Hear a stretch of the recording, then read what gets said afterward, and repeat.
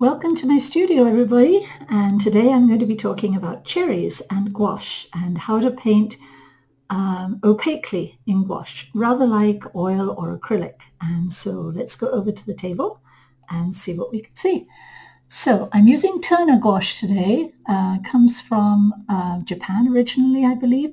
And um, it's available at Jerry's Artorama and you can order it. It's a bright, very bright and intense form of gouache. Gouache is an opaque watercolor and so some of the colors that I'm using from this box of 12 are orange, or permanent yellow deep.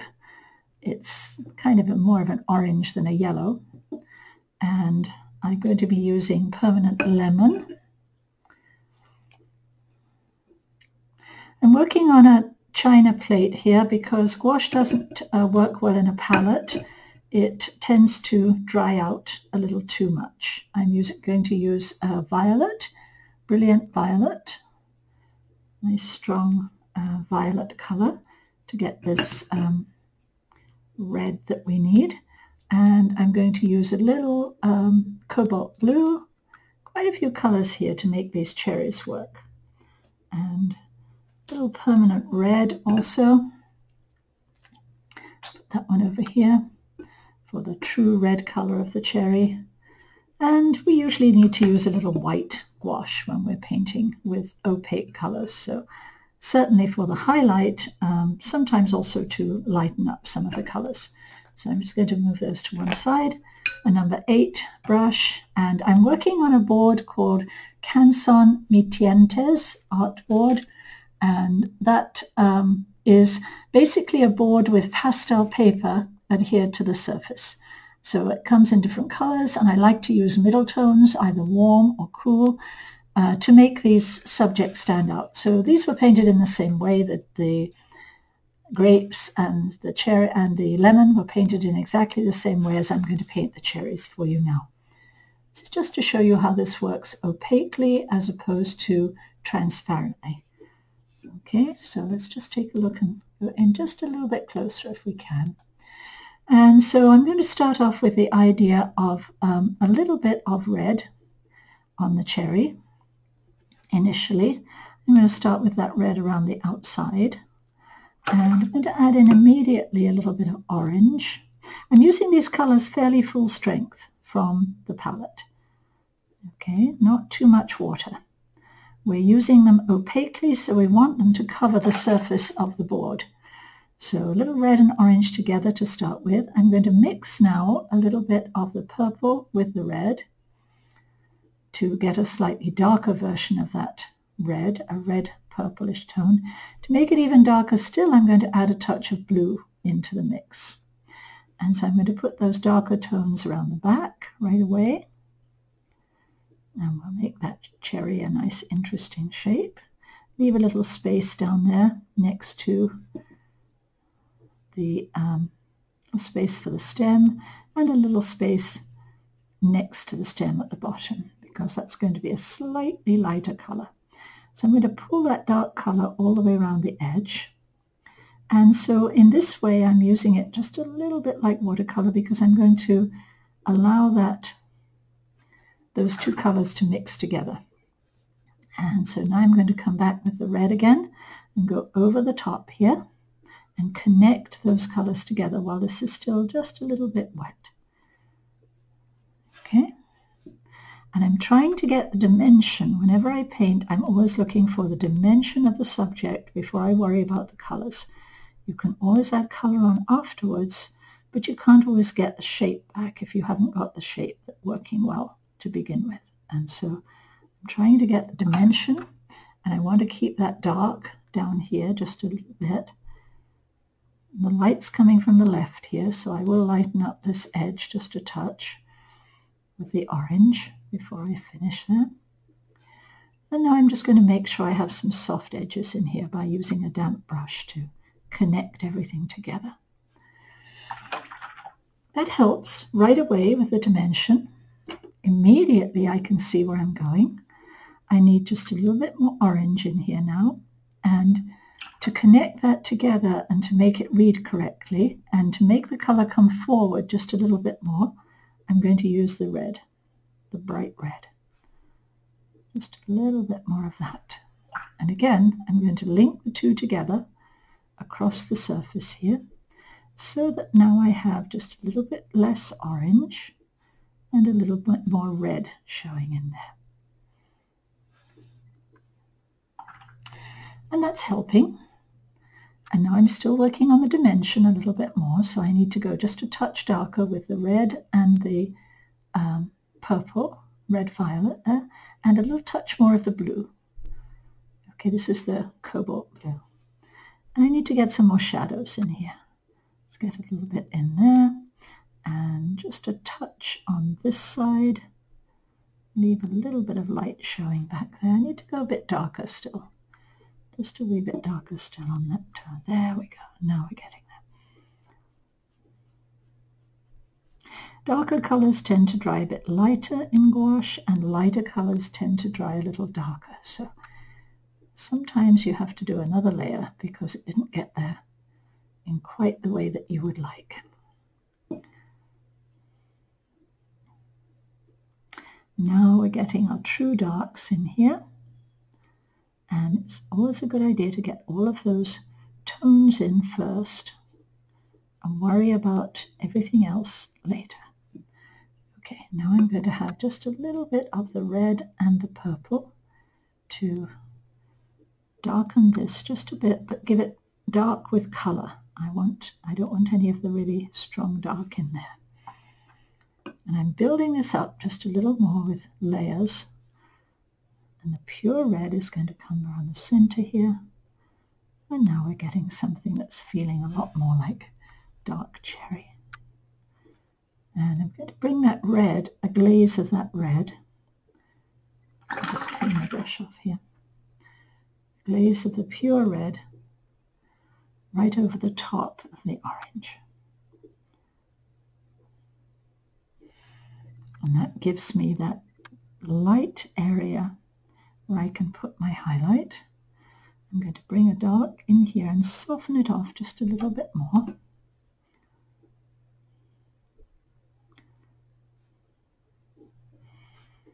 And just a touch more maybe on this side for shadow because the shadow, the light is coming across this way, so the shadow is going to be just a little bit wider on this side. Just a touch more shadow up there too. And this is all still wet, so it's acting with nice, it's working with nice soft edges, and that's working well. Gouache needs to be sprayed as you continue to work with it. If you're working in a hot, on a hot day or in a hot place, then it needs to be kept wet. Just a little bit darker there, but not too much, so a bit more of the red violet there. on the top. Okay, so we're getting there. Gradually working it out to get a slightly smaller area that we can pop out with a highlight. Go just a tiny bit darker here with the red, violet down here. The light is coming on this side, so this side's going to have more color, and the back side is going to have far less color. And so you can keep going back and forth to make this work. Go just a little bit darker with some blue in the mix. Right about here, I think, just as it turns. There we go. And a nice pure red towards the front. And the orange that I put underneath helps to keep that red nice and bright. Okay, if I hadn't put that in, it would be a little too dark in that area. Okay, so I'm happy with the dimension of that right now. And now I'm going to work a little bit on the stem. And the stem is going to be yellow with a touch of blue. Now there is a green in this box that you can use, but it's very bright and it's just another colour that we don't need to get out. So I'm going to use a little bit more yellow in here. And the stem is a sort of light yellow green. The more water you add, the more layers you'll have to do. So I'm making sure that I'm making this almost full strength because otherwise I'll have to paint it multiple times and uh, more than I would like to. So I'm going to put that little stem shape in. That seems to be a little cool to me. So I'm going to add a little orange to the mix to warm it up a bit. And now I'll have one something that's just a little, little bit warmer. That fits better. A bit of a warmer tone overall. Okay, paint it the same all the way down to start with. And then we can add a shadow in there. We also need to add a little bit of a light tone, and I'm going to mix some orange and red for that on the side of where this joins into the cherry. Just a little bit of a light tone in there. And we only see it on the sides because the front covers up that area. So it's just a tiny lighter tone. A bit of a shadow on the back side so we can add some blue to that same mix to make a darker tone for the shadow. And that darker tone will, will come across here. Let's make sure I'm not making that too big. Just a little bit of a darker tone on this side.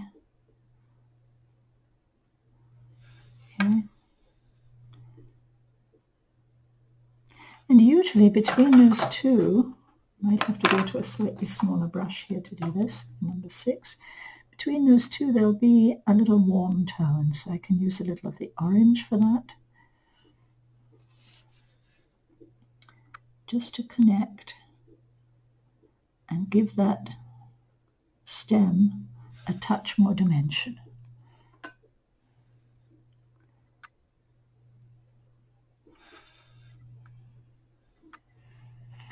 Now, nothing looks good without a shadow. I mean, nothing looks dimensional without a shadow, a cast shadow. So let me just clean up this edge a little bit and we'll add in a cast shadow here. Cast shadow I'm going to make with the colors that I've got that uh, work with the subject. And so the subject colors are reds and blues. And so I'm going to make a purple shadow here. So I could use the, the purple color that comes already from the palette, like this, but that's a little too bright. So what I'm going to do is to mix a little blue in with that. And again, that's a little too bright for a shadow, so I'm going to mix a tiny little bit of orange in there to gray it down. Now it has a grayed violet feel. And that's probably going to be about right. It's a good idea to test on um, another page and see if that's going to be dark enough or light enough. That looks about right for this grey. Maybe just a touch more water in there. You can always do a couple of layers if we need to. That shadow comes from the side here and goes up behind the subject. And as it gets a little closer towards away from the subject, a little further away from the subject, it gets a tiny touch lighter. And so you can just lighten that up with a little bit more water and that will make more sense realistically. And a little suggestion of that. And that might just be too dark, so I'm going to lift that back just a little bit. There we go. And lift this back just a touch. So that I get more of an even tone there. And if that's drying too fast, it's drying really fast in here today because it's warm. Just spread it out a bit more so it doesn't dry quite so quickly. And I'm going to give it just a little bit more tone down here And we'll see how that dries down. while that's drying down, you can add in, there we go, that's better, just a touch more of that darker tone. And while that's drying down, so what I did was I added the darker tone in here, and then I lifted it back, and then I put in just a little bit more of the dark tone in here. And you weren't seeing that because I left it on my palette. There we go. Okay, and just a little bit more of that feeling of finish up there on that. Okay, now nothing is going to look really dimensional unless you give it a highlight. And so just as soon as I've added a little bit more tone to the stem, just a touch more of that dark tone back here, just to pop it down into, into that space. Just a little bit more dark tone across the top there.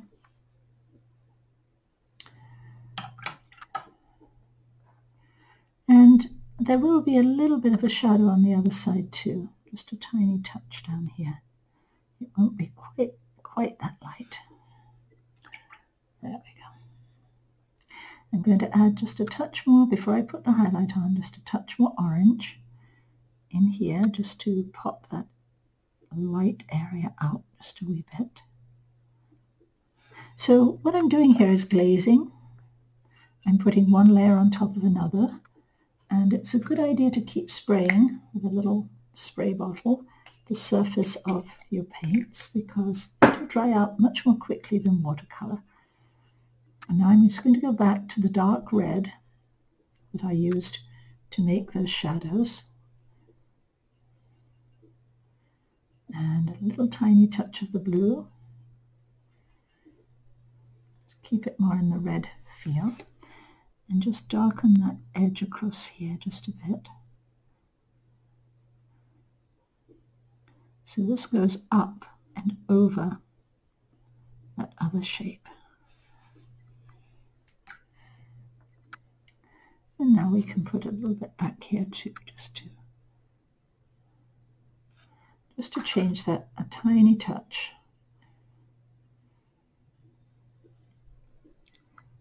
Little light area. It's just a bit too light back there. Put a little red on it. There we go. Okay, and now I think we're pretty good to go on that. Now we can add in the highlight.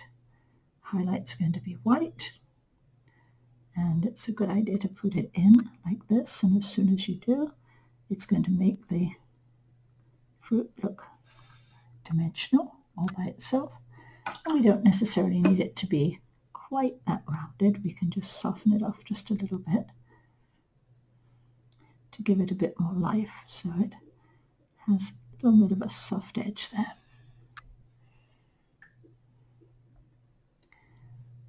Just going to add a tiny touch of orange in here onto the edge of the highlight.